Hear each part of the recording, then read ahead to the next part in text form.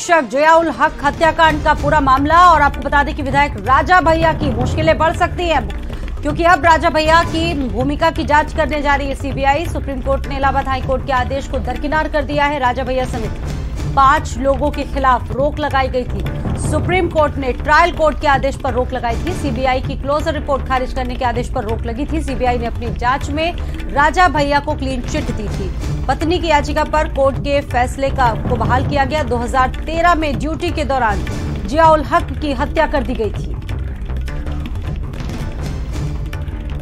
ये मामला एक बार फिर से सुर्खियों में आ गया है। सीबीआई ने अपनी जो क्लोजर रिपोर्ट है, उसमें क्लीन चिट दिया था, लेकिन पत्नी की जो याचिका थी, उसके बाद एक बार फिर से इसको कोर्ट के फैसले को बहाल कर दिया गया है। संदीप मेरे साथ मौजूद है। संदीप, और क्या जानकारी? क्योंकि अब एक बार फिर से भूमिका की जाँच करने जा रही है सीबीआई तो मुश्किलें बढ़ सकती हैं राजा भैया की आने वाले समय में।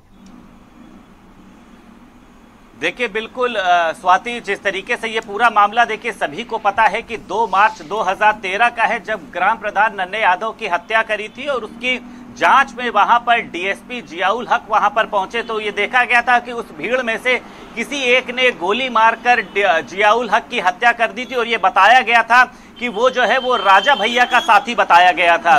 जिसके बाद जियाउल हक की पत्नी परवीन आज़ाद ने पाँच लोगों के खिलाफ रिपोर्ट दर्ज कराई थी जिसमें राजा भैया गुलशन यादव और उसी के साथ साथ तीन अन्य लोग शामिल थे। उस समय समाजवादी पार्टी सरकार में देखिए मंत्री थे राजा भैया और पुलिस ने तमाम तरीके की जांचें करने की कोशिश करी थी। भेष बदलकर वो कुंडा प्रतापगढ़ में रही थी, लेकिन कोई ज़रूरी बहुत ज़्यादा इनपुट नहीं मिला था। और देखिए, ये भी कहा गया था कि वहाँ पर राजा भैया ने लाई डिटेक्टर टेस्ट के लिए कहा था। लाई डिटेक्टर टेस्ट भी 2013 में कराया गया था। लेकिन अब देखिए सुप्रीम कोर्ट ने हाई कोर्ट के उस आदेश को दरकिनार कर दिया है, बल्कि जो ट्रायल कोर्ट ने अपना एक आदेश दिया था, उसको बहाल किया है।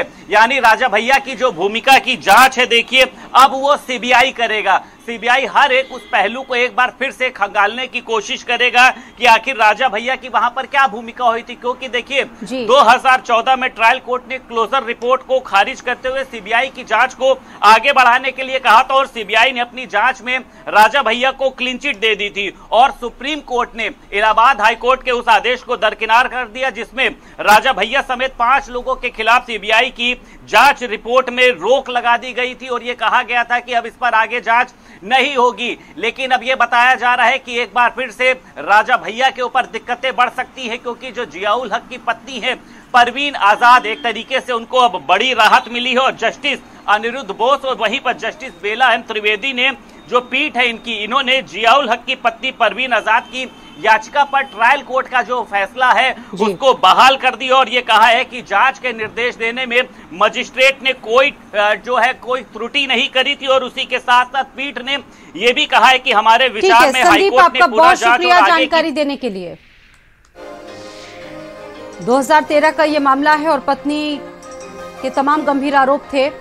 जिसके बाद राजा भैया की मुश्किलें बढ़ सकती है। सीबीआई इस मामले की जाँच करने जा रही है। विधायक राजा भैया, इस मामले में उनका नाम सामने आया था और अब उनकी भूमिका की जाँच एक बार फिर से होने जा रही है।